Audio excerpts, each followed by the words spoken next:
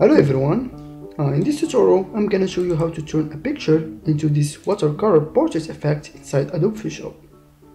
And then I'm gonna show you how to use it as a template so you can easily apply the same effect to other picture without going through the whole process again. And this will save you a lot of time and work. So we'll be using three elements, these two watercolor textures and this brush. And you will find down in description below a link to each of these elements that you will be using for this tutorial. Alright, fantastic, so let's get to it.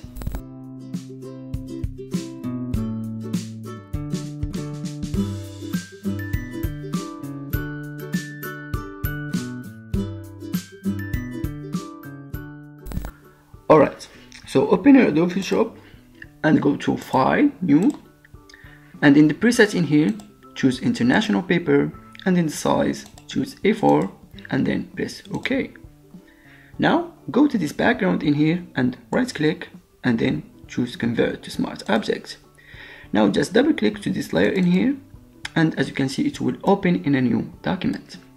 Now just grab the image that you want to use. I'm just gonna open it like that and then just make the face visible because it's a portrait effect. Alright, something like that and then press enter now we need to save it. So you can just press Ctrl S on your keyboard or you know, just go to File and then choose Save. Alright, now just close this and as you can see you'll find this in here saved. Right now I'm gonna make a copy of this so I'm gonna press Ctrl J on my keyboard and I'm gonna uncheck this so you can use it later. Now we're gonna apply a sharpen filter to this so I'm gonna go to filter, sharpen and then choose sharpen in here. Now we're gonna repeat this sharpening so we can easily just by pressing Ctrl F it will repeat it for us. Now we're gonna uh, apply a, a black and white adjustment color so I'm gonna go and choose black and white in here. And then in this icon in here just one click to it and it will clip it to this picture. Now I will go and choose brightness and contrast. And again I will make it as a clipping mask like that. And then I'm gonna make the brightness minus 50 and the contrast 100 and then I will go and choose curves and then I will make a clipping mask again and then in this black import in here I'm gonna put 40 and in this white import I'm gonna put 215 alright now I will go back and choose brightness and contrast again and again I will make it as a clipping mask. And in contrast in here I will make it 50 again alright something like that. And then I will go to this one in here I will make it uh, multiply. And then I will make the opacity 50% just for now. Alright now I will make a copy of it. And I will put it in the top in here. And then I will go and choose filter. Filter gallery and in the sketch folder in here just open it and choose charcoal. And you know for this one it's depend actually on how big or small your picture is. But uh, I just uh, put 2 in the thickness and 4 in the details and 60 in the balance between light and dark. But you know just uh, experience with the values in here before you use this and press OK. Alright, now I'm gonna make a copy of this one again. So I'm gonna press Alt and put it in the top. And then I will open this arrow in here and I will uh, double click to this filter gallery and I'm gonna modify this charcoal uh, filter in here. So now I will go to the artistic folder in here and I'm gonna choose dry brush and in the brush size I will put 10 and in the brush details I will put 8 and in the texture I will put 1 and again it depends on how big or small your picture. You might need like to experience with the values in here and then press ok. Now I will make the opacity 40% alright now uh, I will go and grab my watercolor texture in here. Just open it and press enter and I will put it under this first picture in here. And the reason why we reduce the opacity so we can see uh, our picture like that it looks better. Now I will press ctrl T and we're gonna place it in here. Can also rotate it if you want something like that. I'm gonna make it bigger from here. All right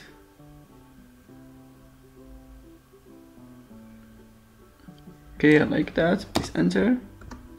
Now I will go back and I'm gonna grab the other texture in here. Please enter. And I'm gonna change it to multiply. And I'm gonna put it on the top like that. Press ctrl T. Alright somewhere like so. Gonna make it smaller. Right something like that. Press enter. Now maybe in here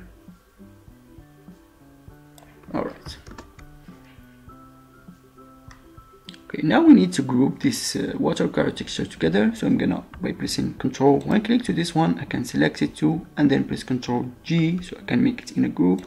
I'm gonna call it water texture. And then I'm gonna apply a hue saturation to it. So I'm gonna go and choose hue saturation and I'm gonna make it as a clipping mask. Uh, and the reason why we did this so we can easily change the color of this watercolor and as you can see like that can easily change the color and choose whatever we want. Alright so I'm gonna keep it zero for now. Alright. Now we need like to group everything together. So I'm gonna start from this watercolor texture and then by pressing shift I can one click to this one in here and it will select it all.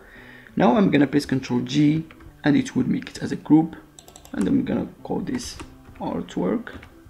Alright now we need to make a, a, background. So I'm gonna go and choose solid color in here. I'm gonna choose a random color. Uh, maybe greenish color like that. Alright and I'm gonna put it under this one in here and in this artwork uh, folder in here I will make a black layer mask. So by pressing alt and one click to this layer mask I can make it a black layer mask. And then I will grab a brush and then right click and choose this gear icon and then choose replace brushes. And then just load the brush you, that, that you just download from the link in description below and press load. And you know just start brushing uh, with the different brushes in here. So I'm gonna start with this one in here. And as you can see we don't see exactly where we're gonna brush in here. So you can easily fix that by double click to this layer mask and make the density to 50% and this way you can see where we want to start or from here. Alright so I'm gonna rotate my brushes like that. I'm gonna start from here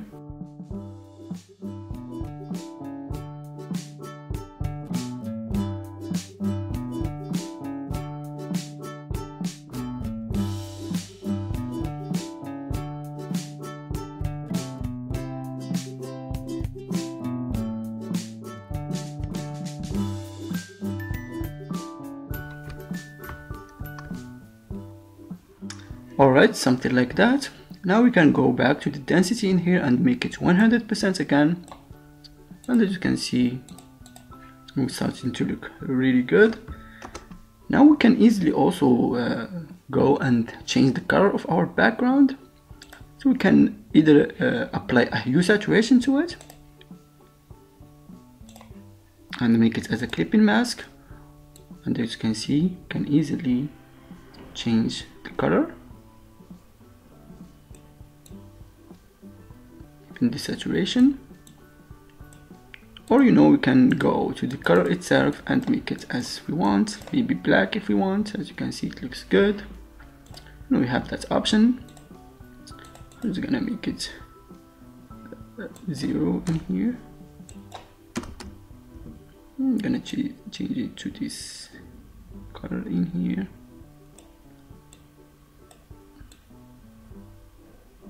Alright something like that and then we can go back to this uh, hue saturation again and you know change the color of our uh, water color texture in here. As you can see it's really cool. As you can see it looks really great. I like this one. All right